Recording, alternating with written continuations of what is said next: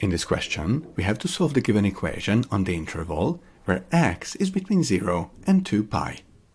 The previous question part is a show that question part, which is almost always a hint that we can use the given result on following question parts. Doing so, we replace sine 2x plus cosine 2x minus 1 with the expression that we deduced in question part A.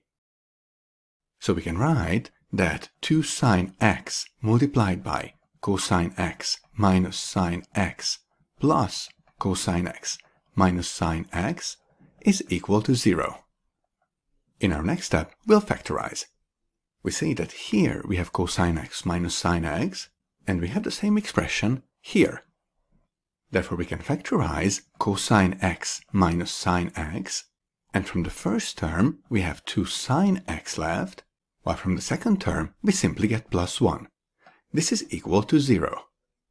The product of the two expressions in the parentheses is 0, so using the null factor law we can write that cosine x minus sine x is equal to 0, or that 2 sine x plus 1 is equal to 0. Let's continue working with these two equations. Rearranging the first one, we get that sine x over cosine x is equal to 1, and using this equation from section 3.5 of the formula booklet, we get that tangent x is equal to 1. To find the possible values of x here, we'll consider the unit circle. Tangent x is 1, where sine x is equal to cosine x. The two such positions on the unit circle are here and here.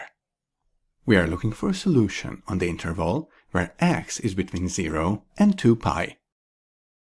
When we are looking for an angle on the unit circle between 0 and 2 pi, we can say that 0 is here, pi over 2 is here, pi is here, 3 pi over 2 is here, and 2 pi is once again here.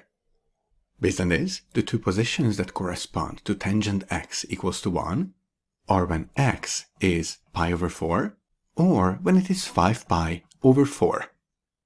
So the two solutions that we get for x from this equation are pi over 4 and 5 pi over 4.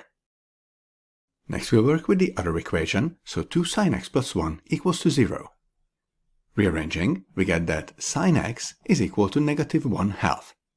Remember that sine x is the y-coordinate of the points on the unit circle, so sine x is equal to negative 1 half at this position and at this position. In the first position, the angle is 7 pi over 6, and in the second position, it is 11 pi over 6. So the two solutions for x that we get from this equation are 7 pi over 6 and 11 pi over 6. So as you can see, the entire question has four solutions. Let's see a tip to maximize your marks on similar questions. This question part carries 6 marks, and it is definitely difficult to earn all of these marks. This might discourage you from even trying the question. My tip here is that even though it is usually difficult to get full marks on questions that carry lots of marks, it is still worth trying because you can often easily earn at least a few of the marks. Here for instance, if you manage to factorize and get to either sine x over cosine x equals to 1 or sine x equals to negative 1 half, you have already earned 3 of the 6 marks.